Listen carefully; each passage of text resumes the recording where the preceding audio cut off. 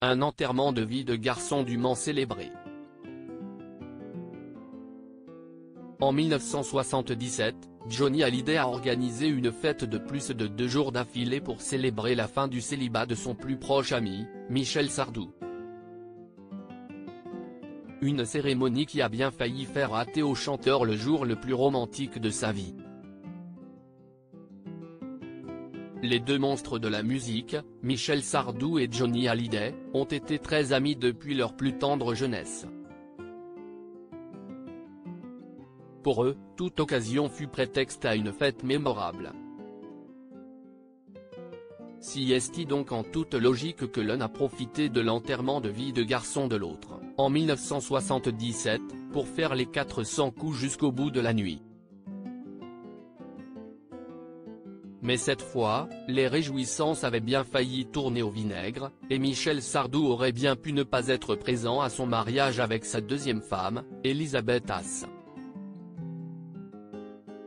À cause de 48 heures de fête beaucoup trop arrosées avec son témoin Johnny Hallyday, l'interprète des lacs du Connemara s'est même réveillé à peine 40 minutes avant l'heure de la cérémonie prévue à la mairie de Neuilly-sur-Seine.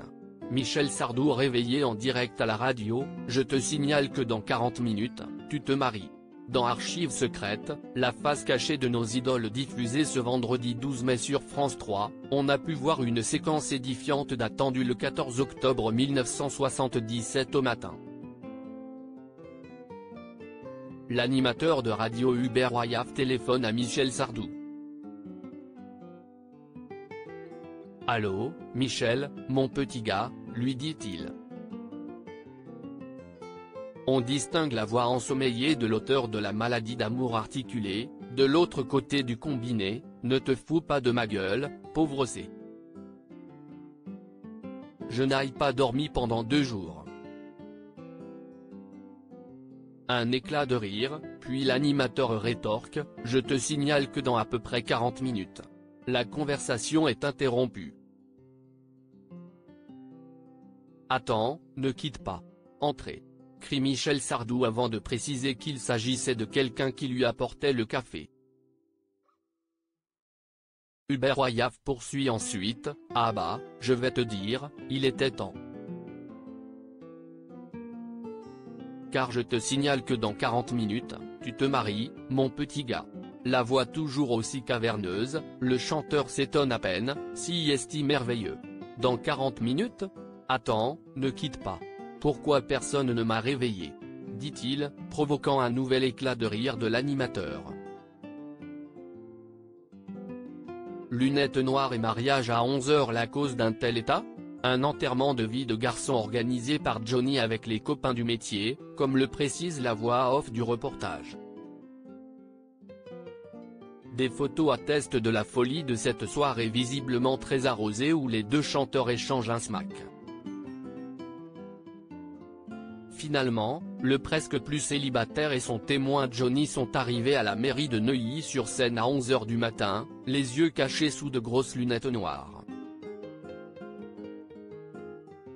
Claude Pierre Bloch, attaché de presse du chanteur, s'est souvenu, ils avaient les yeux un peu fermés, et embués.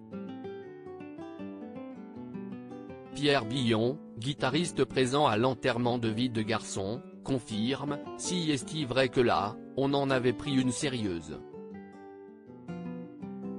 Johnny, quant à lui, estime que la soirée a été plutôt sage. On est rentré tôt, à 4 heures du matin. Tout est bien qui finit bien puisque, malgré son esprit embrumé et ses yeux rouges, Sardou a fini par épouser Babette. Ensemble, ils ont eu deux enfants, Romain et David.